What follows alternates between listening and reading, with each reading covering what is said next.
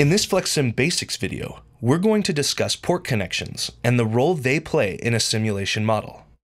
Before we begin, let's bring in a few objects that are found in a basic simulation model. Click and drag to pull these objects from the library into the 3D view. A source, a queue, three processors, an operator, and a sink. These resources can work together to move flow items through the model, but they won't be able to do anything unless they're connected to one another. A connection is a way to establish the relationships needed between objects to define a flow. An item exits through the output port of one object and enters through the input port of another, and a connection is the way to define which object is the input and which is the output. Each output to input relationship defines a possible routing between objects. So for any possible routing choice you want the model to have, you must have a connection that defines it. Objects can be connected in one of two ways. The first is by clicking the Connect Objects button in the toolbar, which puts you in connection mode.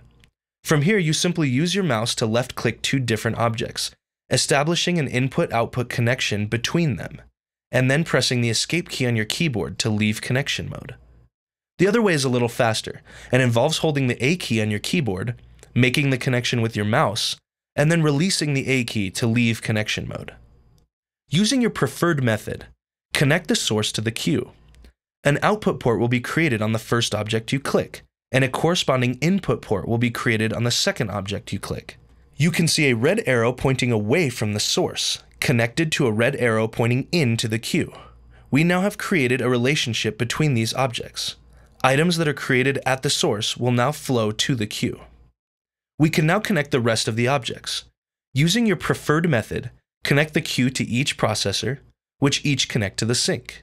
If you follow the red arrows, you'll see that we now have a flow from the source all the way to the sink, with three unique paths that items can take once they've exited the queue. Click Reset and run the model to see how the items flow through the model. There is another connection type available in FlexSim called a center port connection. Let's say we want to use that operator to help process items at the topmost processor. Could we use a regular connection to create this relationship? No, because it wouldn't involve the input and output of items. We can, however, connect their center ports together, which will create a reference between two resources.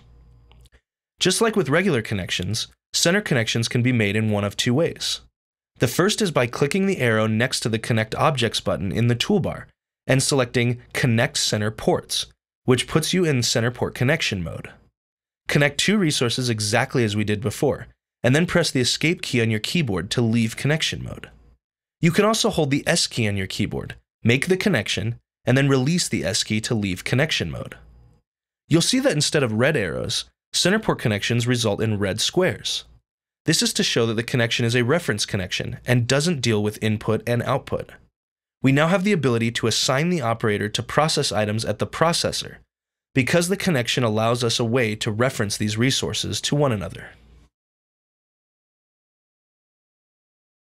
At some point, you'll need to remove a connection from your model. To do so, either use the Disconnect Objects button in the toolbar or use the shortcuts on your keyboard. Q for a regular connection and W for a center port connection. Choose whichever feels more comfortable and click between the objects in exactly the same order as when you first made the connection. Thank you for watching. For more information on FlexSim products or to view more tips and tricks for successful modeling, please visit www.flexsim.com.